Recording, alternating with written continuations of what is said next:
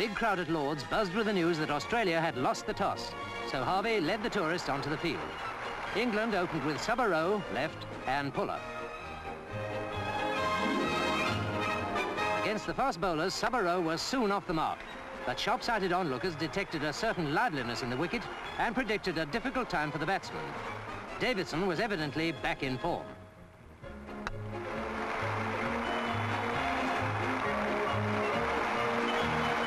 Was uncomfortable.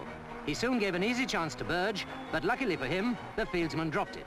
However, that near success inspired Davidson. He clean bowled Pullar with only 26 on the ball.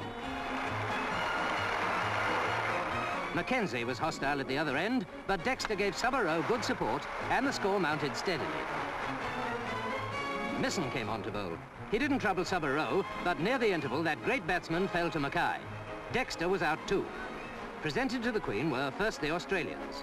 Richie Benaud introduced the vice-captain Neil Harvey and the rest of the team. Over to England. Colin Cowdrey presented Peter May and his other teammates. Cowdrey and May were now together, and the crowd hoped for a big stand, especially as the captain is in great form just now. At the other end, May got off to a good start. But there was no stopping Davidson.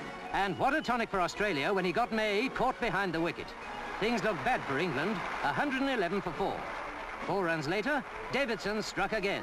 This time he got Barrington caught by Mackay.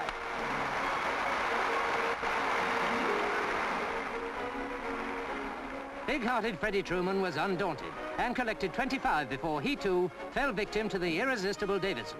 England all out for a meagre 206. Statham began by bowling in great style against Lawry. Trueman also was in good form. Lawry's partner was McDonald. Statham clean bowled him, One for five. A truly exciting day's cricket.